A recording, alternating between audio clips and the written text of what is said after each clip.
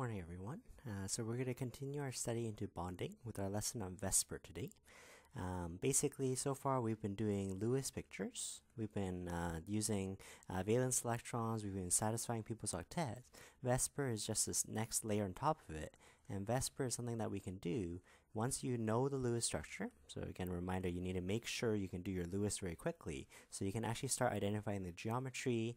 Uh, we will be using symmetry as part of our argument as well, uh, but the fun part of this one is actually looking at some 3D shapes. Uh, we actually need to start representing different bond angles. Uh, one of my favorite lessons, um, I'm going to give you a link of a PhET simulation that I'm going to show you uh, later on this lesson as well. Do play around with a little bit, see if you can visualize the 3D angles and the structures for yourself. Uh, there will be uh, quite a lot of uh, names of the different structures and the geometries. Yes, you do need to memorize the names as well as the bond angles, but you're going to find as you get more practice with it, it'll come uh, second nature to you. So, uh, without further ado, here you can find these VSEPR notes here under the handouts column here. Uh, you can scribble over as we go through here. So, uh, we predict this theory here. We call the uh, theory VESPER. VESPER is an acronym here. It's I know it looks like VSEPR, right? But uh, this VESPER here, the VS stand for valence shell. So we're specifically looking at the outermost electrons because those are the ones that we care about.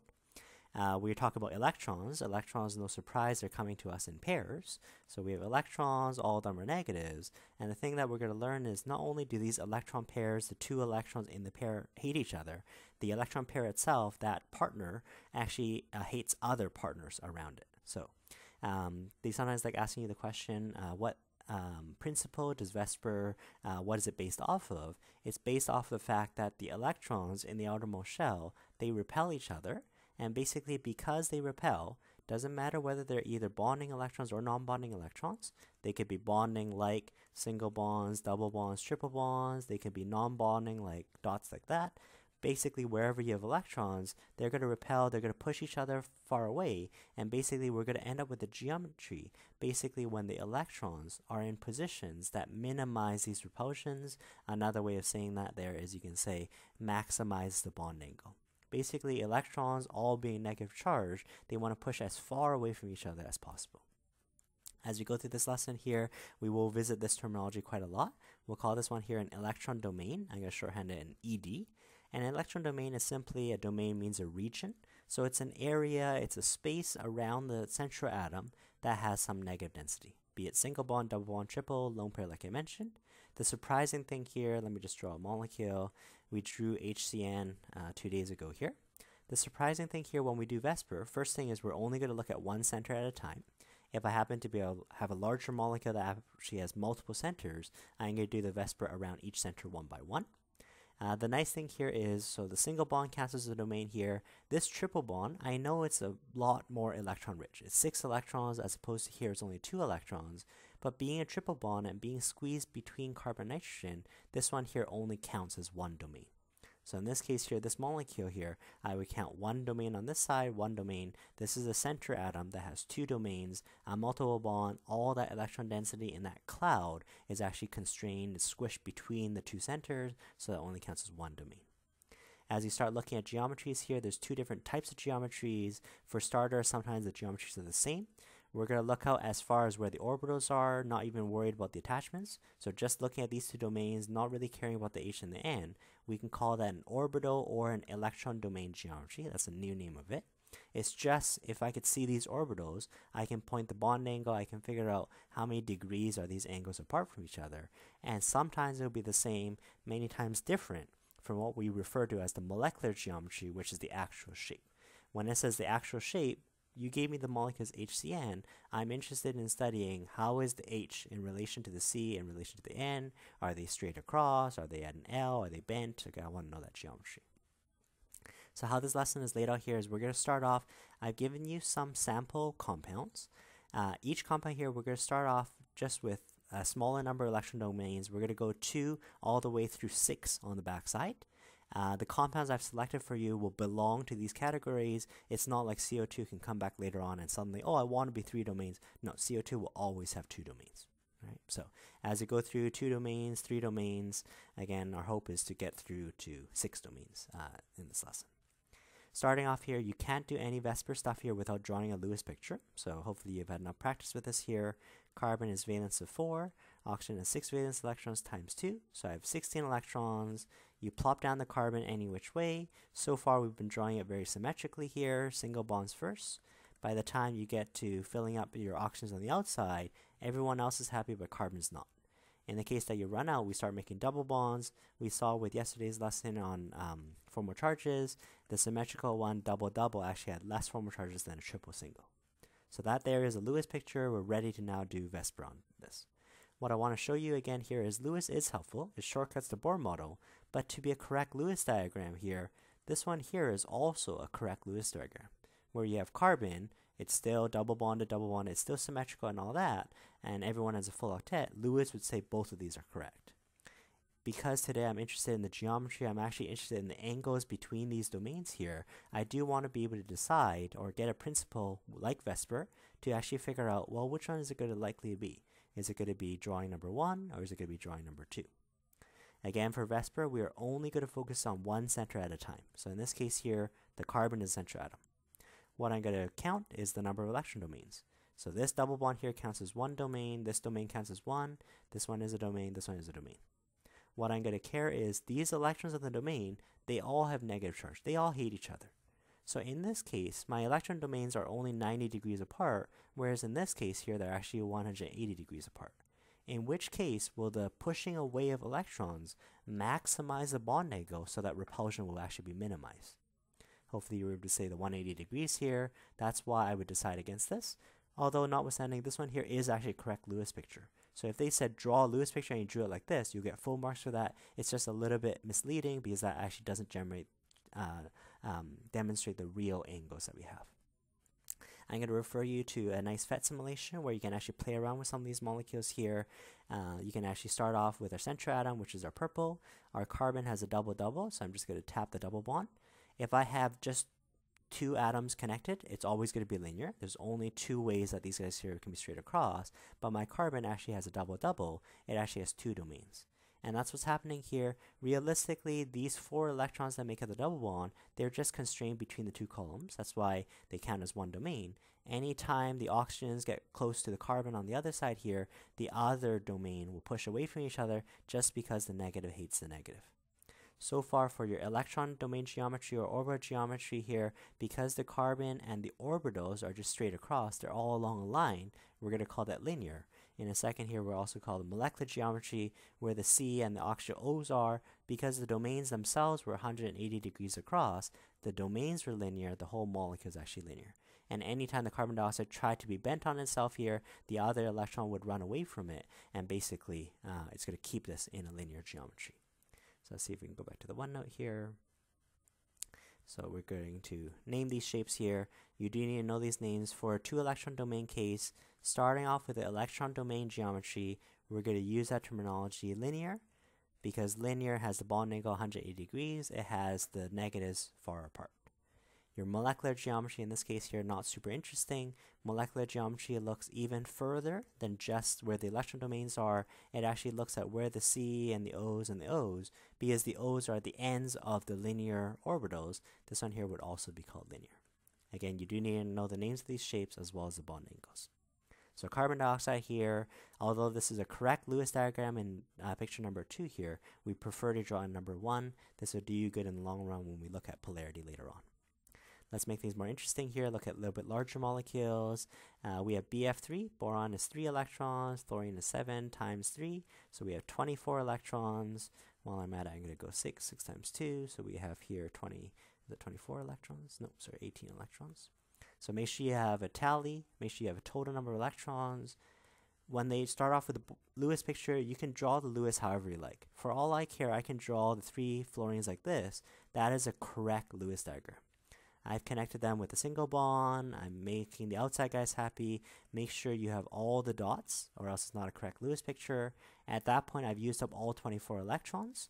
Um, in this case here, I would usually say boron is unhappy, but we saw yesterday boron is one of those incomplete octets. Boron experimentally is found happy with 6 electrons, so this boron here is actually happy already. As it pertains to Lewis, perfectly fine. I've used up all 24, everyone has the full octet, everyone is happy. but geometrically, do we expect this is the way it's going to form? This boron trifluoride here has three domains. Single bonds here count as three domains here. Well, the domains are all very electron rich. There's negative density in there, and negatives just want to push away from each other. In this case here, just like earlier, the bond angle here is a lot tinier than it could be.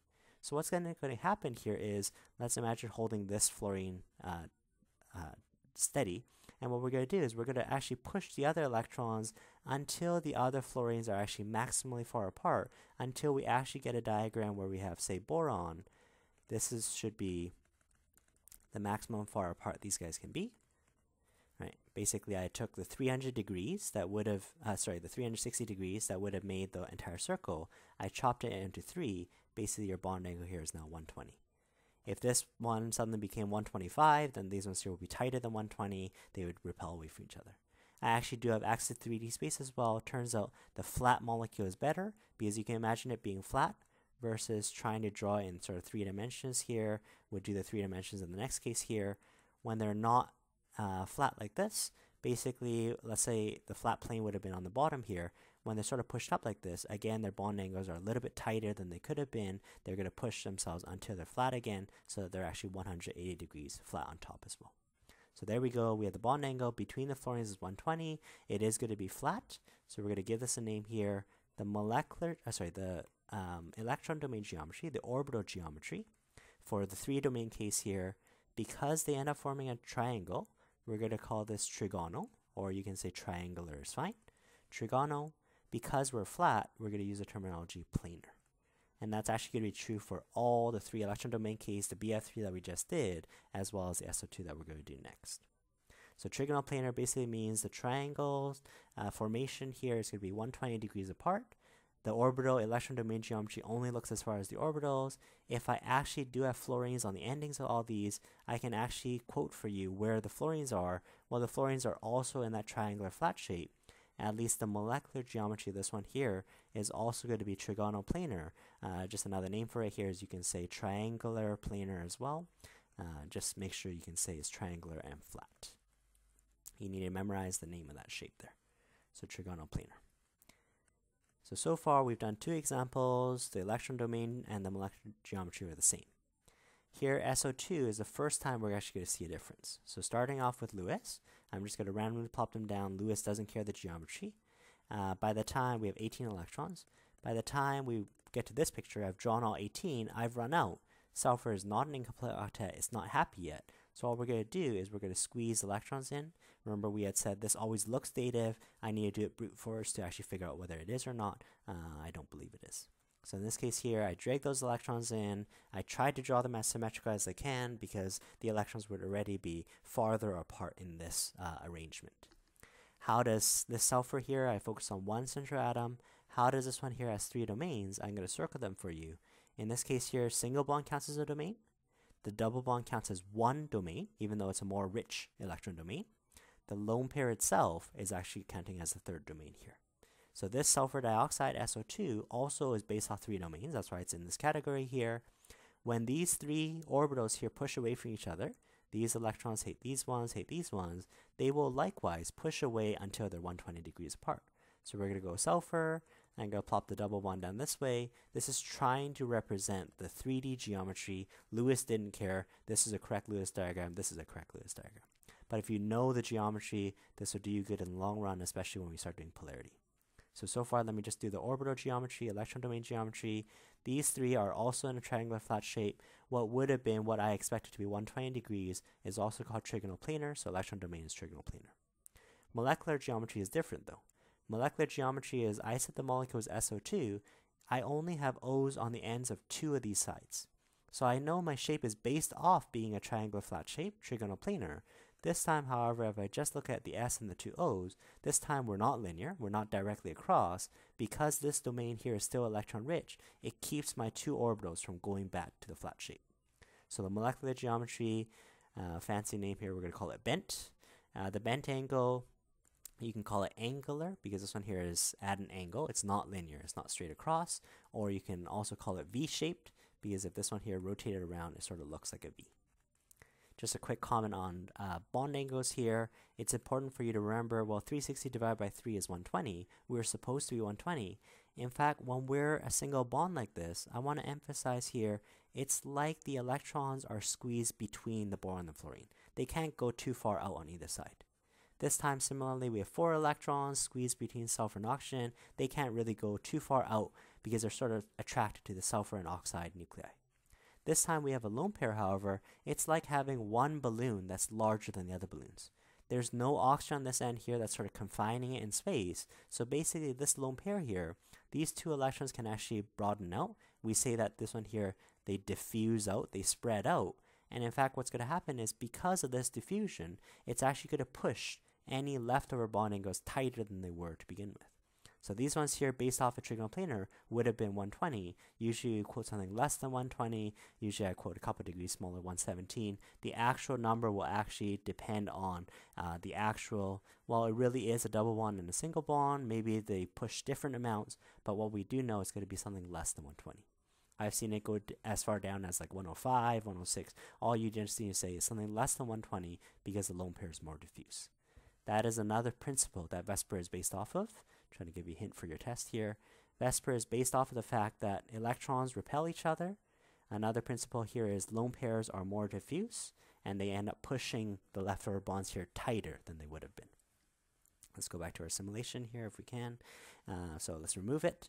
Let's start off with a boron trifluoride, three single bonds. When I have three bonds here, we have a perfect uh, 360 divided by 3, so 120 degrees apart.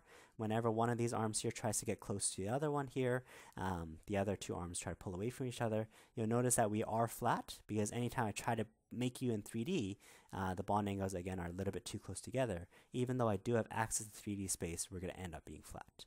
So there we go, trigonal planar. Molecular geometry is also trigonal planar.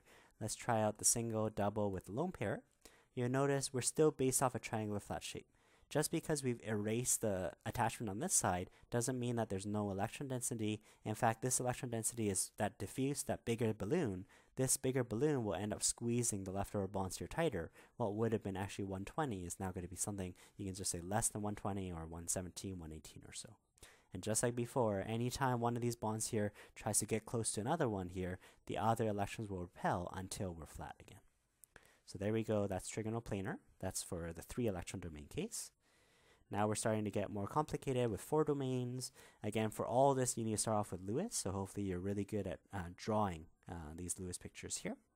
Uh, on your handout, these diagrams will show up a little bit better, but let's just start off with a Lewis. Methane is just carbon single bonded to four hydrogens.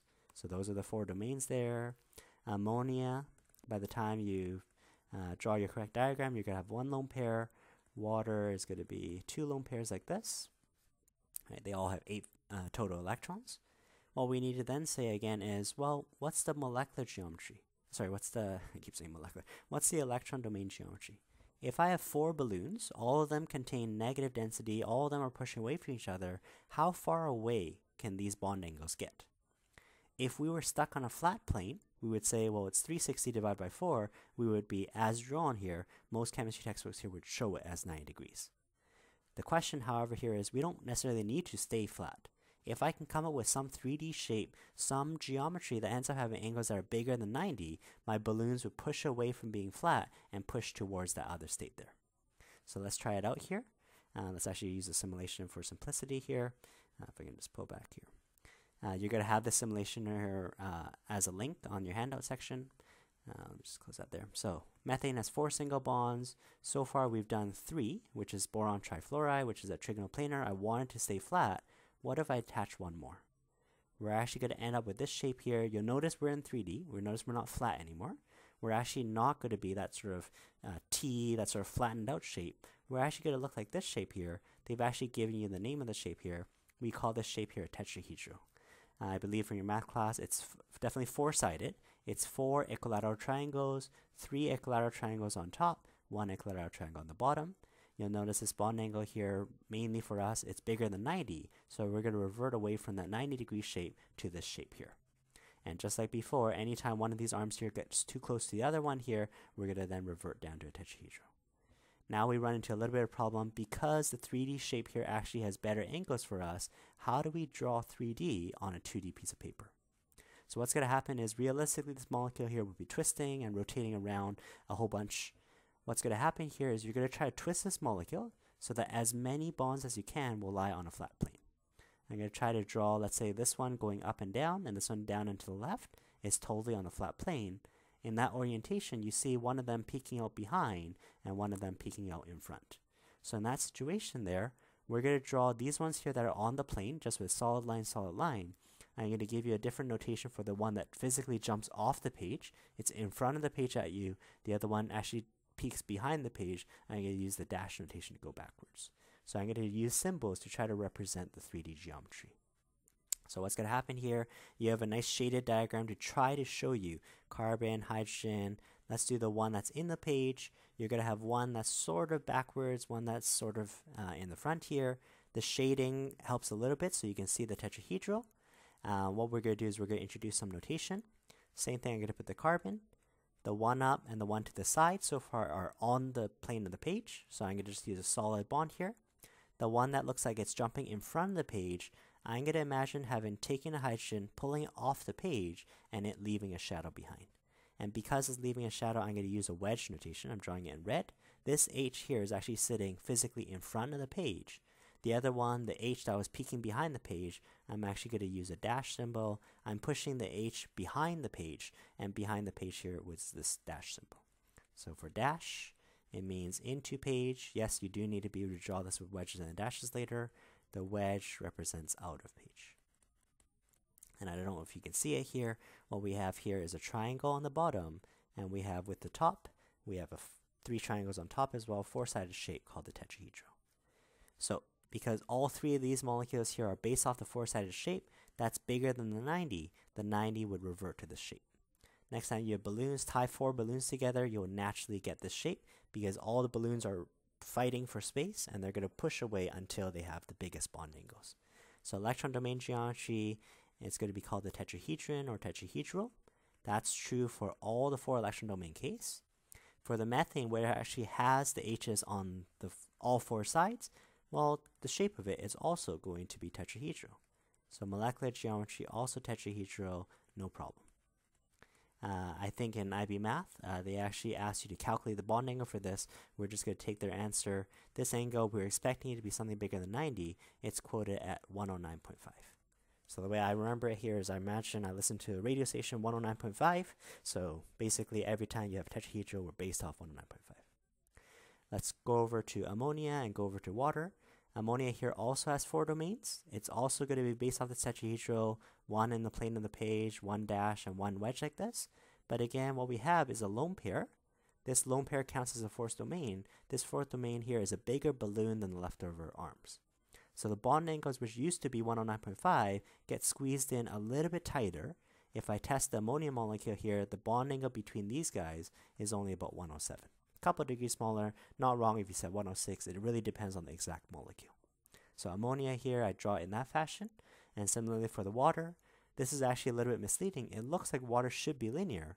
Because water actually is still based off a four domain case, water also has O and H. You can even draw an H like that. It also has a lone pair back and a lone pair forwards. Those lone pairs are actually more diffuse. It's not like they're erased so that the oxygen can stay in a line anymore. Those lone pairs will squeeze the bonds even tighter than they were before. For water, it's nice to know the bond angle 104.5. So based on those numbers there, I memorized the 109.5 as a radio station, minus 2.5 to get to ammonia, minus 2.5 to get to water. Couple degrees smaller for every lone pair that diffuses out, for every lone pair that uh, stretches out for you, which is why it explains to you molecular geometry wise here, the uh, water is actually bent, and this bent is actually different from the angular and the bent from before. This one already was at 109.5, this one now is bent 104 degrees. Earlier we had a bent of maybe 117 because we were based off trigonal planar. Molecular geometry for ammonia here, similarly speaking, is, uh, to give it a name, it's a slightly shortened uh, triangular pyramid. So where a triangle is on top, we have a triangle on the bottom of this pyramid. It's a slightly sort of flattened out tetrahedron. We're going to call this one here a trigonal or triangular. and we're going to say pyramid. Sometimes they like adding an L at the end. So trigonal pyramidal, yes, you need to memorize that name there, and that represents the molecular geometry. I know I'm based off a full tetrahedron, but if you just look at where the N's and where the H's show up, it's just that bottom region that makes a triangular pyramid. So let me see if I can show you that on the simulation here. For ammonia, we have three single bonds, and one of them has a lone pair here. You'll notice we are still based off a tetrahedron. We're still based off of having that tripod uh, kind of shape here. But if I just talk about the molecular geometry, just the purple and where the H's actually are, it's a slightly short, shorter tri triangular pyramid. We are not flat. That's actually going to give us some polarity later on. And the reason we're not flat is because we're based off a trigonal, uh, a tetrahedral geometry. So a really easy principle of VSEPR. Uh, electrons hate each other. They just keep pushing away until um, the bond angles are large enough. Now onto the back side, let's just finish off. Okay, I'm going to give you a summary chart here later on if I can find it. Um, that'll give you the names of these shapes along with one way of drawing these pictures. Not the only way, but uh, you could uh, refer to this chart here to do it later on. So on the back side here, I've left you with the 5 electron domain case. Like we mentioned, we're going to go to 6 electron domain. This is the additional higher level stuff. Standard level will stop there. Uh, right away, alarm bells should be ringing for you here. We're going to have a central atom. And these guys here around them are going to have five domains. If every domain is at least two electrons, already I have 10 electrons. Already this one here I have 12 electrons. These ones were my exceptions from yesterday. These ones are expanded octets. So these ones here have to be period 3 and lower. They have to actually be using their d orbitals for bonding. Sort of the same analysis here. Mr. Sabari's uh, been nice to you. He's given you the Lewis pictures. You have to do Lewis before you can do any VSEPR stuff. That's why you want to be really fast with Lewis. And basically what we want to ask is, there's five places that are negative and they all push away from each other. How big could the angles get? Um, shouldn't be surprising to you here. We already used 3D space for the four electron domain case here. Let's use 3D space for this one. For this one here is actually a combination of two shapes we've seen already. It's also two different types of bonding, which leaves us with a little bit more analysis later on. What we're going to be combining is actually phosphorus. It's going to have one back, one in the front, one to the side. That there is actually the same as a trigonal planar. I'm sort of looking at it uh, horizontally here. We call these ones here the equatorial positions because they're the flat positions. And we're actually going to combine it with the axial. We'll combine it with the linear. Let's plop another chlorine up here, and another chlorine down here. Those ones that are referred to as axial positions. Basically, we subbed on, this part was linear, and we subbed it up and down based off of this flat plane here. That part there was a trigonal planar. So it's a combination of two shapes that we've seen already. It's actually two different types of bonding. Uh, if you tie five balloons together, it'll revert to this shape. So there's actually two different types of bond angles here. Between the flat equatorial positions and the straight up and down, we definitely have a 90 degrees. For the trigonal planar, we had said take 360 divided by 3. We actually have here just 120 degrees. So because I have two different types of bonds, I have a 90 degree angle and a 120 degree angle. Uh, the molecular geometry of this one here, we have a triangular middle. Because of the one up, I have a pyramid that's on top. Because of the one that's down, I also have a pyramid on the bottom. I have a shape that's triangular with two pyramids. I'm going to call, yes, I got it right this time, electron domain geometry. I'm going to call it the trigonal bipyramidal. I'm going to call it triangular base, triangular in the middle, but it has two pyramids, one pyramid overlaid with a, another upside down pyramid on the bottom. The electron domain geometry for all of these is going to be uh, trigonal bipyramidal. Molecular geometry wise is going to be different though, depends on where the atoms actually are, have any of them become lone pairs. So what's going to happen here is for PCl5, if you can actually see where the CLs are, the molecular geometry is also going to be tri bipyramidal. So trigonal with two pyramids. As I start losing lone pairs here, uh, I'm going to do the answer first and then we'll talk about why. It's always good, because I have two different types of bonds, it's always good to actually take off the equatorial positions first. So out of the five, I would have been based off a trigonal bipyramidal, but if one of them has now become a lone pair, I pull off one of these lone pairs. I'll show this to you on the simulation in a second here. We're going to have chloride, uh, sulfur, oh sorry, they're using fluoride, so fluoride, fluoride. This one sort of makes a fulcrum. We have the up and down that's sort of straight across. This sort of becomes a bench. And we're going to call this like in elementary school. We had a, a, rocking board here that would rock back and forth between this uh, fulcrum here. The molecular geometry of this middle one here is referred to as a seesaw. Very fancy language here like a teeter-totter. So seesaw. The bond angles here one of them has become a, a lone pair so it's more diffuse. Where it would have been 120 degrees I might quote here maybe 119 or 118 something something smaller than 120 it still probably has a 90 degree angle or 89, something smaller.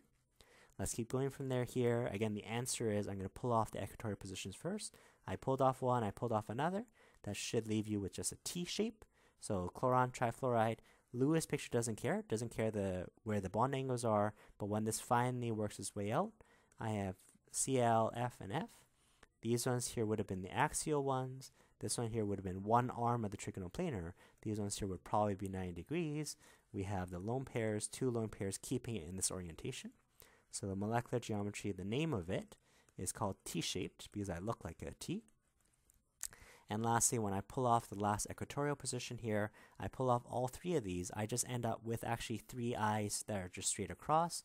We had done this molecule a couple lessons ago here. It was charged, so the charge in the corner there.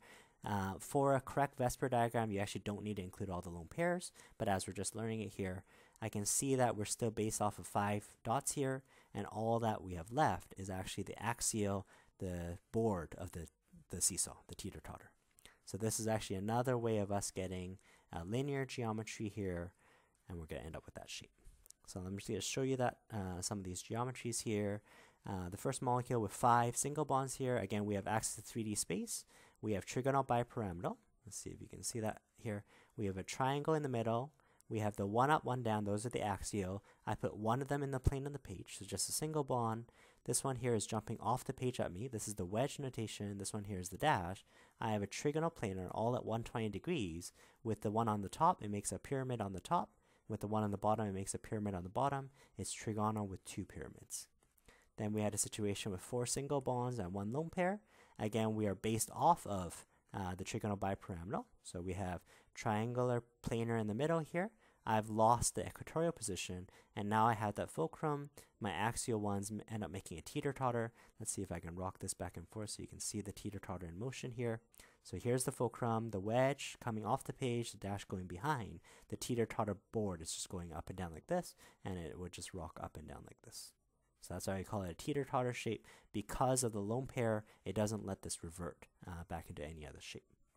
Uh, the next one here, I'll show you one more with a T shape. So I have three and then two lone pairs. We're still based off a trigonal uh, bipyramidal triangular planar in the middle. I've removed two of them as equatorial positions, and I'm left with this T. You can, by extension for triiodide, imagine this one also becomes a lone pair, where the three eyes actually are, they're just straight across. The bond angle will be 180 degrees, so that one will be linear. I shortcutted a little bit here because for trigonal bipyramidal, there's actually two different types of bonds.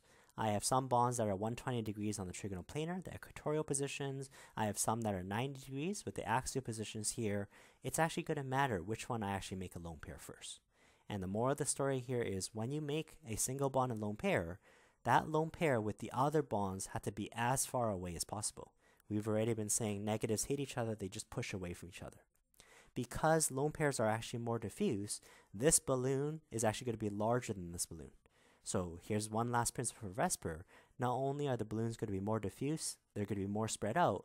We actually want, in a case like this where we have two lone pairs, we want the lone pair lone pair bond angle to be as big as it can be. In this case here, it looks like it's about 120. If instead I put a lone pair up here, axial, and one that's equatorial, my lone pair lone pair, the biggest balloons that are pushing the most are actually too close together. That's why we end up using our equatorial first.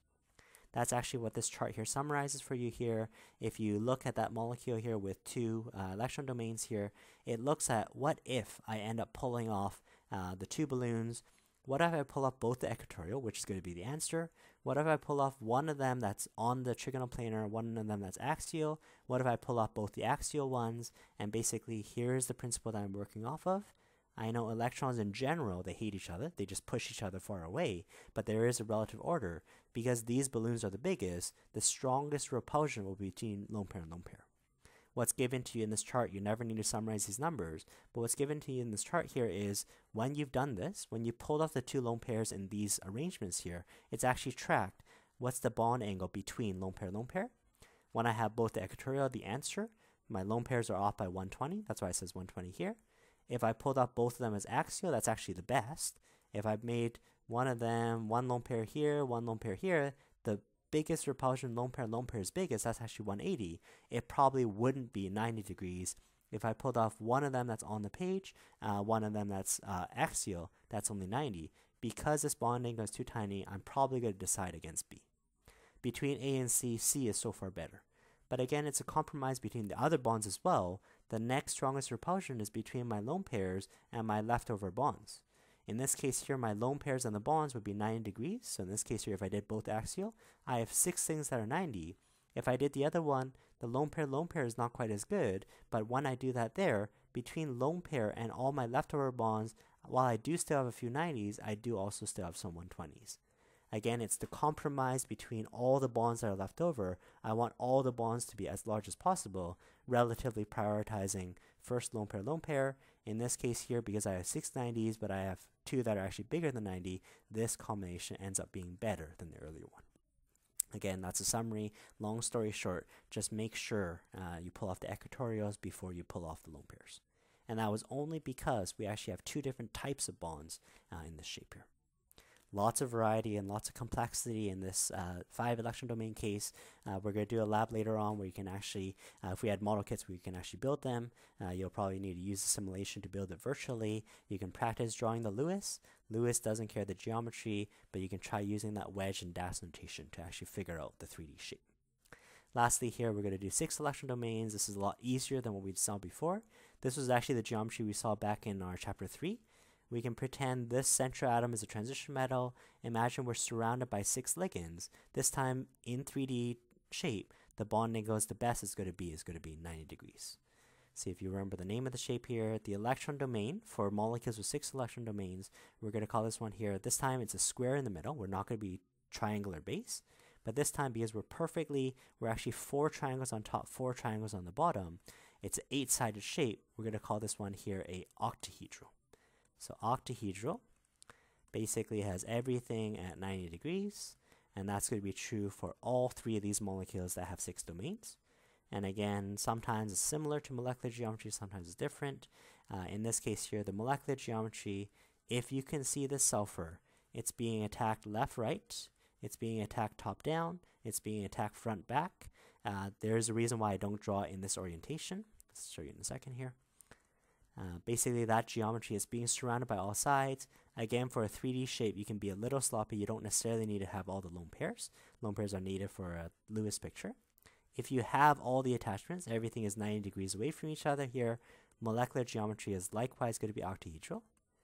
And just like we've been doing throughout this lesson, what if I gave you another molecule which also has six? It's also expanded. But what if we start making some of them those balloons, some of them a lone pair? This time, because we're perfectly symmetrical here, it doesn't matter which one you pull off. There is no equatorial axial anymore. Let's imagine pulling off that bottom one. I'm still going to be surrounded by chlorines sort of all around me.